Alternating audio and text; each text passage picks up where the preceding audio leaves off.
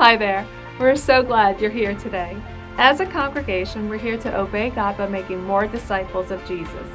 In short, it's not about us, but helping others take another step toward Jesus. Welcome to the first Sunday in May and welcome home. To those new with us today, we're so glad you're here, and don't worry, we're not going to embarrass you or single you out. We don't want something from you, but we do want something for you.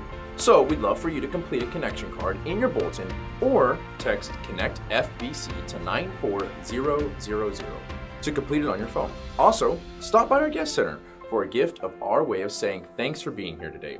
As we said, we're glad you're here and want to show it. Seriously.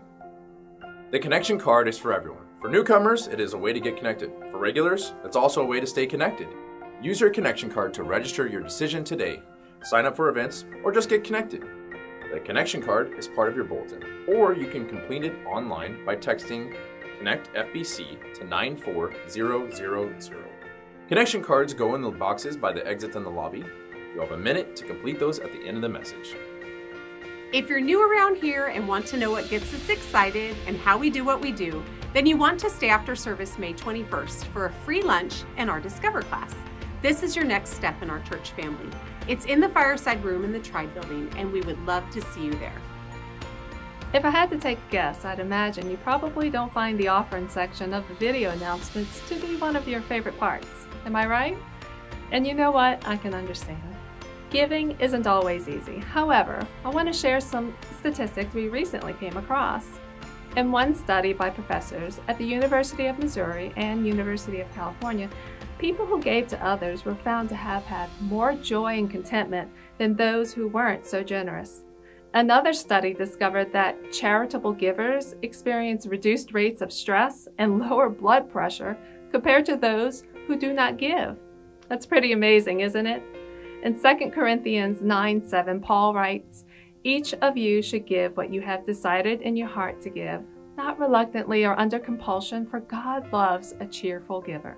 So not only do we honor Jesus when we give, but we also get to enjoy the contentment that comes with loving others. This doesn't mean it will always be easy to give, but it does show that giving, as the Lord has given to us, changes the way we perceive our circumstances.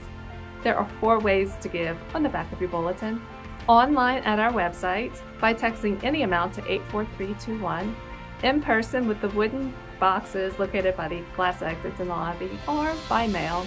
Look at the back of your bulletin for this information and get the Wi-Fi password. Before you know it, May 14th will be here. It's less than a month away, and that is Mother's Day. We're looking forward to celebrating all the moms in our lives, spiritual, physical, and biological. It's going to be a great day. We are the Church of Hope. There's hope here.